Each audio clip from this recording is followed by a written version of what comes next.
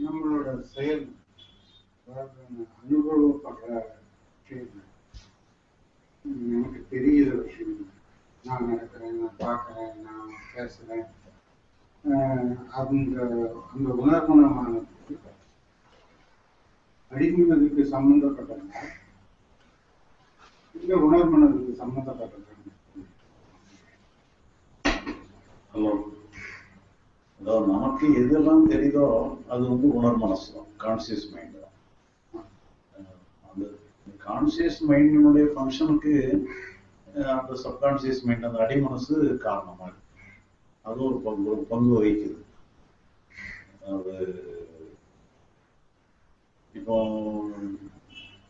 உதாரணமா நீங்க அந்த சினிமாவில் பார்த்தீங்கன்னு சொன்னா என்னென்ன சீன்ஸ் வருதோ அந்த சீன்ஸ்க்கு ரிலேட்டடா ஒரு மியூசிக் கொடுப்பாங்க. ஒரு ஒரு மகிழ்ச்சியான சூழ்நிலையா இருந்துச்சுன்னா மகிழ்ச்சியை கொடுக்குற மாதிரி ஒரு மியூசிக் கொடுப்பாங்க. ஒரு சோகமான சூழ்நிலை இருந்துச்சுன்னா சோகமான சூழ்நிலையை ரெப்ரசன்ட் பண்ற மாதிரி ஒரு மியூசிக் கொடுப்பாங்க. அப்போ அந்த மாதிரி மியூசிக் கொடுக்குற வேலையை மட்டும்தான் இந்த சப்கான்சியஸ் மைண்ட் பார்த்து வேற அது ஒண்ணுமே பண்ணாது. வேற அது அது ஏதோ ஒரு வகையில ஒரு இது பண்ணி விட்டுருக்கு. ஸோ நம்ம நம்ம இப்போ நட எல்லாத்துக்குமே அடிமனம் ஆதாரம் அப்படின்னு சொல்லி அடிமனம் தான் உணர்மனத்துக்கு காரணம்னு சொல்லி ஐயா சொல்லி ம். ஜெனரலா இப்போக்கு இப்போ ப்ரெசன்ட் நடந்துகிட்டு இருக்கிற விஷயத்துக்கு அடிமனம் ஆதாரமா உண்டா? அதாவது அடிமனசு தான் ஆதாரம் அடிமனசு ஆதாரமா இருந்து அது வந்துருது. வந்ததுக்கு கூட நமக்கு தெரியறது வந்து வெடி மனசு மட்டும்தான் நமக்கு தெரியுது. இப்ப வெடி மனசுல உதாரணமா நமக்கு ஒரு கவலை வருதுன்னு சொல்லி சொன்னா கவலையோ பயமோ வருது. வந்துன்னு சொன்னா அந்த அந்த வந்ததுக்கு அப்புறம் நமக்கு தெரியற கவலை பயங்கிறதெல்லாம் கூட வெடி மனசுதான் உணர்வு. அப்ப அந்த அந்த உணர் மனம் தான். அந்த உணர் மனத்துலதான் அந்த இது இருக்கு. அப்புறம் அந்த உணர் மனசையே அந்த உணர் மனசுக்கு பிடிக்கல. இந்த கவலையும் பயம் எனக்கு வேண்டாம்னு சொல்லி அந்த உணர் மனசுல இருந்தே விடுபடணும்னு நினைக்குது. அது அந்த உணர் மனசும் எப்படி இருக்குன்னு சொல்லி சொன்னா அதுவும் ஒரு வினாடிக்கு வினாடி மாறிக்கிட்டே இருக்கு. அது ஒரு கவலையோ பயம் வந்தாலும் கூட அதுவுமே வந்து போயிட்டு இருக்கு வந்து முடிஞ்சதுக்கு பிறகுதான் அது எனக்கு வரக்கூடாதுன்னு சொல்லி நம்ம இது பண்ணிடுறோம் அப்ப அது என்னன்னு சொல்லி சொன்னா இந்த உணர்மனமே வந்து ஒரு இல்லாத ஒண்ணுக்காக தன்னைத்தானே வருத்திக்கிட்டு ச- த- சண்டை போட்டு அது வந்து முடிஞ்சு போயிட்டு இருக்குது உணர்மனம்ங்கிறதே வந்து வந்து ஃபினிஷ் ஆகி போறதுதான். ஃபினிஷ் ஆகி போனதுக்கு பிறகு அது இல்லைன்னு தான் இருக்கும் புதுசு புதுசா தான் வருது. புதுசு புதுசா வர்றது உணர்மனமே பழைய மனமும் ஏதோ இருக்குங்கிற மாதிரி நினைச்சிட்டு பிஹேவ் பண்ணிடுது இல்லாத ஒண்ணு இருக்கிற மாதிரி நினைச்சு பிஹேவ் ஐயா அன்னைக்கு உங்ககிட்ட நான் பேசும்போது இப்ப நான் ஆன்மீக சம்பந்தமாலாம் எதுவுமே படிக்காம செய்யாம எல்லாத்தையும் விட்டுட்டு பேசாம எனக்கு இப்ப இந்த மாதிரி பணம் தான் முக்கியம். நான் எக்ஸாம் கொஞ்ச நாள் போயிட்டா எனக்கு முக்தி கிடைக்குமா அப்படின்னு கேட்டதுக்கு நீங்க சொன்னீங்க முக்தியை புறக்கணிக்கிறதுக்கு தாங்க முக்தி எப்படி செயல்படுறதுதான் முக்தி அப்படின்னு நீங்க சொன்னீங்க நான் அப்படி செயல்பட்டு பணம் சம்பாதிக்கிற எனக்கும். முக்தினா என்னன்னே தெரியாம பணம் சம்பாதிக்கிறவனுக்கும் என்ன டிஃபரன்ஸ் அதாவது முக்தின்னு சொல்லி சொன்னாலே இந்த மனதை புறக்கணிக்கிறது தான் மனதை நீங்க புறக்கணிக்கலன்னு சொன்னா மனசுக்கிட்ட சண்டை போட வேண்டிய நிலைமை நீங்க பணத்துக்காக நீங்க சண்டை போட்டுக்கிட்டு முயற்சி பண்றது வேற. உங்களுக்கு நீங்களே சண்டை போடுறதுங்கிறது வேற. உங்களுக்கு நீங்களே சண்டை போடுறதுங்கிறது ஒரு ரொனாட்டிக் ஆஸ்பெக்ட் மாதிரி. இப்போ பைத்தியகாரத்தன மாதிரி. உங்களுக்கு நீங்களே சண்டை போட வேண்டிய அவசியமே இல்லை.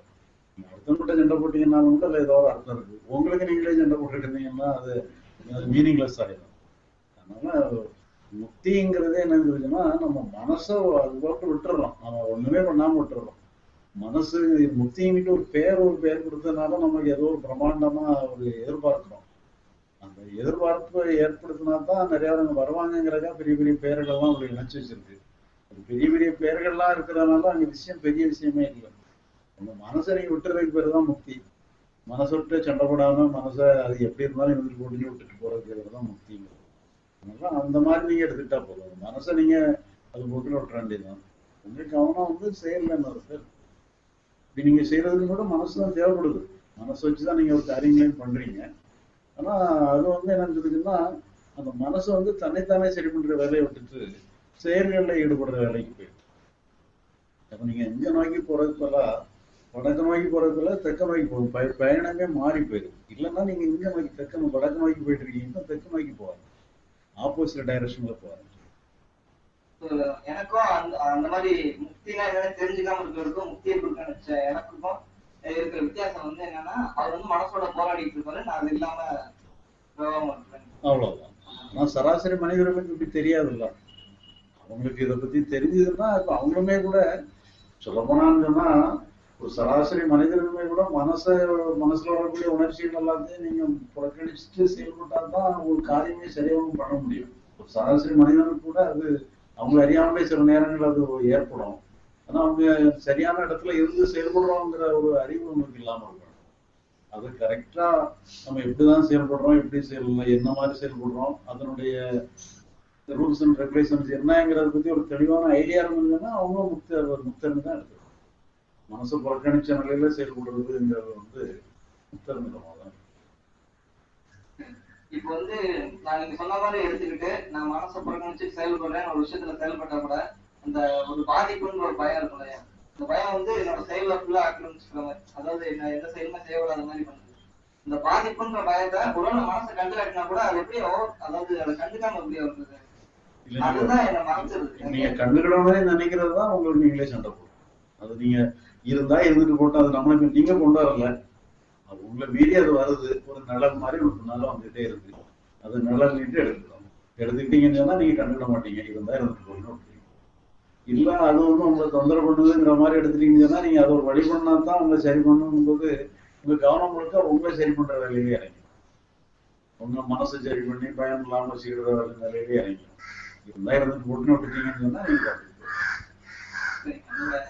பணம் சம்பாதிக்கிறது தான் என்னோட எய்ம் ஆனா பாதிப்புன்ற பயம் வந்துருச்சு.